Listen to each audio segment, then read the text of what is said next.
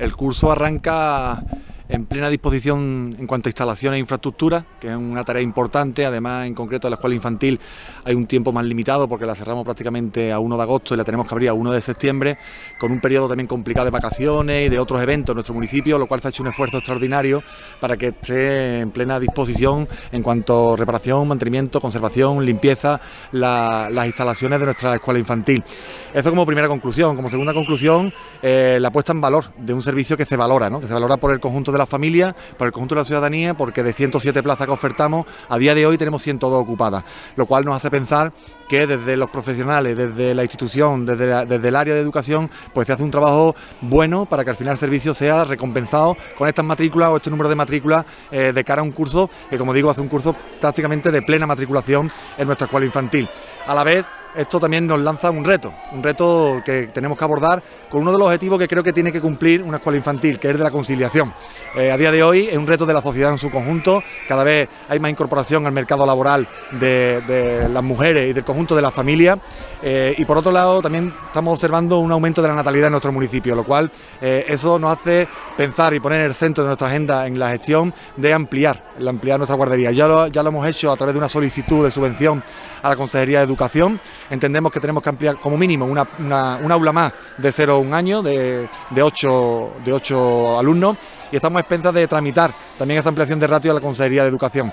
No por nada, sino porque nos viene un, futuro donde va a hacer falta compaginar esa oferta con la demanda que nos está llegando. Y por otro lado, poner en valor eh, la función socioeducativa que tiene nuestra escuela infantil, eh, que nuestros hijos e hijas desde edades tempranas eh, convivan, socialicen y tengan un servicio de estas características, ayuda al crecimiento de, nuestros hijos e hijas, de nuestros alumnos y alumnas. Por lo tanto, el objetivo socioeducativo está demostrado que se pone en valor y por otro lado de conciliación como una herramienta fundamental para el conjunto de las familias fontaniegas. Destacar en primer lugar que, como digo, estamos trabajando en, dos ámbitos temporales. Uno más inmediato, ya hemos solicitado formalmente la ampliación de la, de la clase de 0 a 1 año. Actualmente son ocho plazas y están todas cubiertas. Nos consta que hay en torno a 5 o 6 eh, familias que quieren eh, también ocupar esas plazas. Le hemos pedido una ampliación de ratio. Somos conscientes de que es complicado porque en el ciclo, el primer ciclo de infantil, la normativa no, permite una ampliación directa de esas plazas. Estamos trabajando, trabajando en la configuración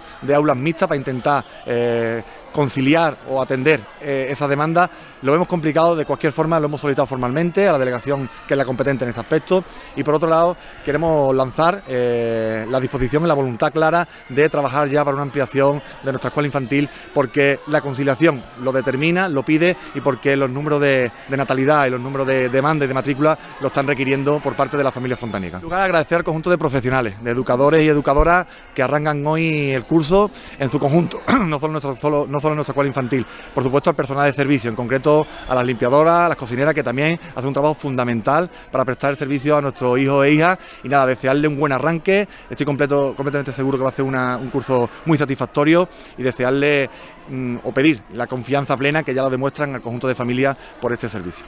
Un inicio muy bueno, tenemos eh, las clases prácticamente completas, eh, de 107 plazas tenemos 100 mm, ya cubiertas. Una novedad importante este año es que los bebés siempre eh, empezamos con dos o tres y este año empezamos con ocho y está la, ratio completa.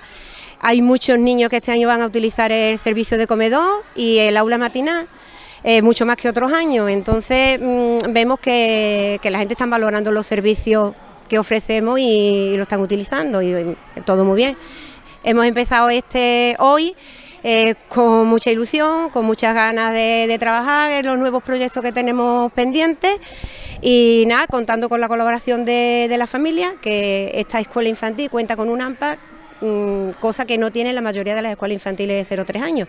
Y ellas nos ayudan mucho, participan mucho y colaboran mucho con nosotros y es una cosa que es digna de valorar.